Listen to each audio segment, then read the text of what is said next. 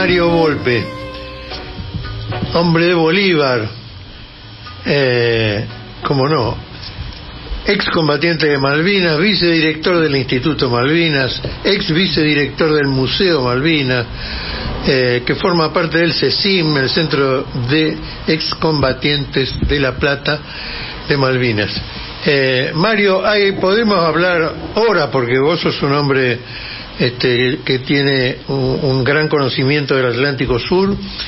Eh, hoy te llamamos más que nada porque nos interesó muchísimo, te escuchamos el otro día en una conferencia hablar de las riquezas raras que tiene la Antártida y dijimos, me parece que son, parece una cosa pequeña, sin embargo, me parece de enorme importancia que la gente sepa qué tesoros hay en la Antártida, además de, cubitos para el whisky. Sí, bueno, buenos días. Eh, realmente, bueno, un gusto estar primero en el programa, un saludo a todos y a todas, y, y realmente creo que es necesario difundir estas cosas porque yo decía en líneas generales, tomando la Antártida y, el Atlántico Sur, sobre todo muy cerca, digamos, en lo que es el Magallanes, en lo que es Ushuaia y Antártida, si uno se pone a pensar, eh, todos los elementos que la humanidad necesita para subsistir están en el Atlántico Sur y en la Antártida. ¿Cuáles son los elementos básicos? Bueno, agua dulce. El 70% del agua dulce del, del, mundo está en la Antártida, uh. en esos grandes cubitos, digamos, que hablábamos recién. El 70%. Falta el whisky nomás. Falta el whisky. Eh, eh, tendría que ser un botellón grande, ¿no? Este, pero bueno, eh, es cuestión de... En, en, eso no, no. En el viaje se lleva. Bueno, el 70%. Eh, sabiendo que el 3%, solamente el 3% del agua del mundo es este, el agua potable, digamos. Bueno, imagínense eso. Después, segundo punto, proteínas para la alimentación del mundo. la gente necesita para subsistir proteínas. Entonces, ¿qué es lo que hay? Enorme cantidad de peces, enorme cantidad de la mejor proteína con los mejores, con la mejor proteína que existe para la alimentación humana. Y por supuesto, antiguamente, lo más tiempo hablábamos del krill, ¿se acuerdan cuando hablábamos del krill? Bueno, todo eso es proteína este, para poder alimentar este, a, toda la población. Tanto que yo esto lo decía y me corro un poquitito con respecto al, al tema del hambre nuestro, del hambre y de la pobreza en Argentina. Nosotros teníamos, tenemos un plan en el centro de combatientes que solamente, solamente con alquilar en estas condiciones este, difíciles, solamente con alquilar algunos barcos que pesquen para, para los comedores, tendríamos la posibilidad de terminar con el hambre urgente en la Argentina. Nosotros lo probamos este, con trayendo alrededor de más de 20 toneladas de merluza y langostino que nos dieron las empresas y llevamos a los comedores alimentando alrededor de 120 mil chicos, es toda la, todo el área que significa Berizo, La Plata, bueno. Ahora, ¿en cuál es la idea de una pesca social? Y me corrí un poquito, pero para ver la importancia que tiene. No existe ninguna contra en la ley de pesca para que nosotros podamos pescar en nuestro mar y dar de comer a los comedores del país solamente alquilando, aunque no tengamos los barcos. Sabemos que los barcos los vamos a tener que hacer, que los va a tener que hacer astilleros, pero bueno, fíjense la importancia que tendría eso. Por eso, proteínas. ¿Qué más hay en, en ese lugar? Hay minerales necesarios para la industria que, esta es la industria, digamos, que tiene más que ver con el futuro, con el presente y futuro, las computadoras, los armamentos, titanio, platino, manganeso, cobalto, todo eso está en la Antártida y está en nuestra plataforma continental en lo que se llaman nódulos polimetálicos. Los nódulos polimetálicos son, este, bueno, acá no se ve por radio, pero yo tengo esta pelotita que, que yo muestro, una pelotita de tenis o más chiquita, son nódulos que están sobre la superficie del fondo marino. ¿Y qué es lo que ocurre? Ahí tenemos este zinc, manganeso, cobalto, titanio, oro, plutonio. Hay tierras raras. Entonces, ¿qué es eso? Eso sirve, ustedes saben que hoy, por ejemplo, no funcionarían las computadoras si no son, eh, si no tenemos tierras raras y estos minerales. Tanto que esta guerra de Ucrania provocó una crisis de los semiconductores que se hacen con estas cosas en gran parte, ¿no?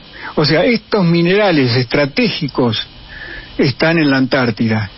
Tanto es así que Estados Unidos los pone en un cuadro, cuando ustedes miran un cuadro en Estados Unidos, los minerales no los coloca dentro de las necesidades del país o de la industria, los coloca, los coloca dentro de la seguridad del Estado.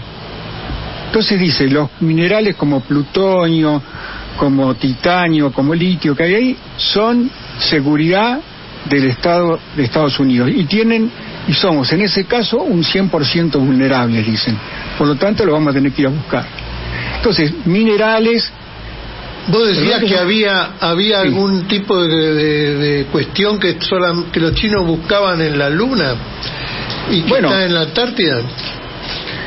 Sí, eh, hay en la Antártida y hay en Ushuaia. Ajá. Eh, son pequeñísimas proporciones, pero hay que buscarlas. Esto se trata de una cosa que parece del futuro, pero se trata del helio 3. El helio 3 se encuentra en lugares de la Antártida y se encuentra en Ushuaia y sale y se encuentra en pequeñas cantidades, por ejemplo, en las explotaciones de gas. El helio 3 es un producto eh, que tiene que ver con que en un futuro no muy lejano, si se logra la fusión nuclear, el helio 3 es un elemento que, nuevo que, que provocaría o que tendríamos la oportunidad de tener energía mucho más segura que la nuclear, que se hace por fisión nuclear, con esta fusión nuclear con el helio 3. Ahora, este helio 3, miren, hay enorme cantidad de helio 3 en la Luna. ¿Por qué? Porque en la Luna no hay eh, atmósfera. Entonces todos los rayos cósmicos que pegan sobre los sobre las rocas y sobre lo que hay en la, en la, en la Luna, hay una enorme cantidad de helio 3 porque ahí no hay, no hay este, protección. ¿Se entiende? No hay protección de, lo que nosotros llamamos, no quiero complicarla mucho, pero nosotros tenemos unos cinturones que se llaman Van Allen que nos protegen de las radiaciones solares. En la Luna no están, entonces hay enorme cantidad de helio 3. ¿Qué pasaría? ¿Por qué los chinos se interesan en esto? Porque podrían trasladar, porque el helio 3 hay que trasladar pequeñas cantidades de helio 3, producen enorme cantidad de energía si ponemos en marcha la fusión nuclear. La fusión nuclear se está desarrollando entre varios países. Este, así que ya hay pruebas de que ha empezado las primeras pruebas. O sea que son cosas del futuro, pero del futuro acá cerquita.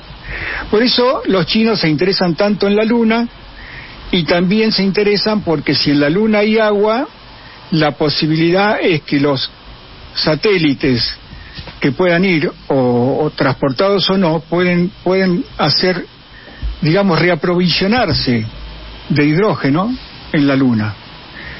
Esto lo ha descubierto incluso una compañera, una chica de, descubierto, lo ha, lo ha, seguido su, su, trayectoria, una alumna de ingeniería de la Facultad de Ingeniería de La Plata, que ha descubierto cómo llegar a la zona oscura de la Luna, donde podrían reabastecerse de hidrógeno los cohetes que, o los satélites que llegan ahí. Eso permite una mayor posibilidad de, transporte y demás.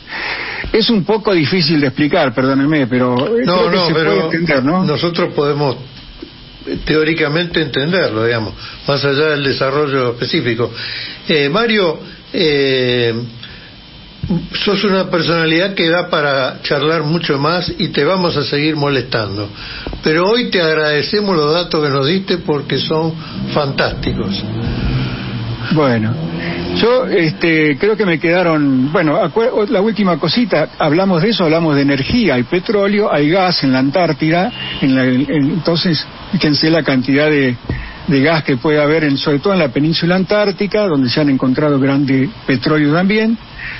Y termino con una sola, perdónenme, para dejárselas para un próximo programa. Hidratos de metano. Estos hidratos de metano por debajo del hielo de la Antártida y hay una cosa que se llama permafrost, por debajo de eso hay una enorme cantidad de metano que no se utilizaba hasta ahora porque era caro. Pero en la medida que, que la técnica avanza, va a haber, se va a extraer de la Antártida y de nuestra plataforma ampliada a las 350 millas una enorme cantidad de energía de, por de parte de estos hidratos de metano. Bueno, Creo que fue bastante, espero haber sido muy claro por un tema difícil. Muy bueno, chiche joya. Te agradecemos enormemente. No, les agradezco a ustedes la oportunidad. Mario Volpe, patriota argentino, eh, malvinero, combatiente y un profesional que todavía está desarrollando ese gran gesto patriótico que es darle de comer a los chicos gracias a los combatientes de Malvinas. Muchísimas gracias, Mario. Oh, gracias a ustedes. Cuando nosotros decimos que para un peronista no debe haber nada mejor que otro peronista, estamos levantando la bandera de la solidaridad dentro de nuestra fuerza.